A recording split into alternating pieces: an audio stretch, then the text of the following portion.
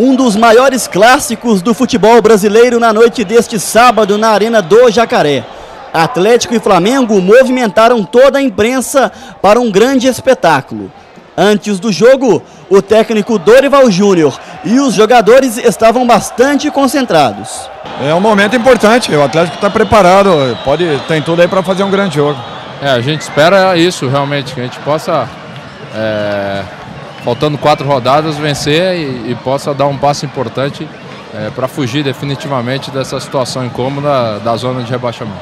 É um jogo de muita concentração, um jogo que vai ser decidido nos detalhes. A gente tem dedicado isso ao fim, Deus quiser, consegue vitória. Dentro de campo, o Atlético demonstra muita raça e superioridade. Vence o Flamengo por 4 a 1, com dois gols de Renan Oliveira, um de Obina e outro de Tardelli. O Alvinegro começou pressionando o adversário. Diego Tardelli cruzou e a bola passou por toda a área. Em seguida, foi a vez de Leandro pela esquerda. Marcelo Lomba tirou com a ponta dos dedos. Obina dá um lindo chapéu em Maldonado. E logo depois, aproveita o rebote do goleiro no chute de Renan Oliveira e faz do primeiro.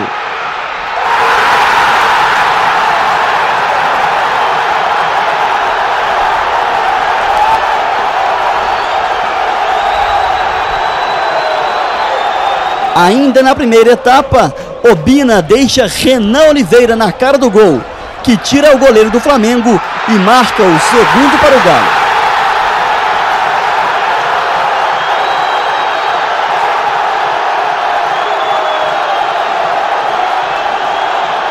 Na volta para o segundo tempo, o Flamengo tenta, mas para em Renan Ribeiro. Quando arrisca de fora, Val Baiano isola. Aos 23 minutos, Diego Tardelli entorta o zagueiro Wellington e faz um golaço.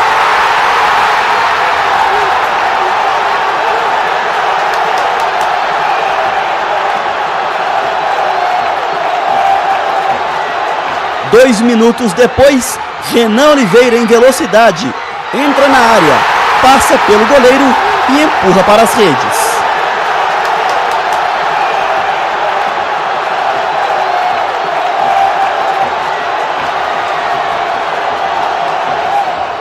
Marquinhos diminuiu para o Flamengo.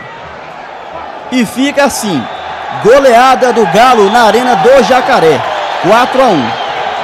Precisava de uma vitória como essa para poder mostrar ao torcedor que a gente quer, que a gente luta, que a gente se empenha para poder sair dessa situação. Acho que todo mundo está de parabéns pelo desempenho e pela vontade mais uma vez. Esse é o jogo que todo mundo está esperando.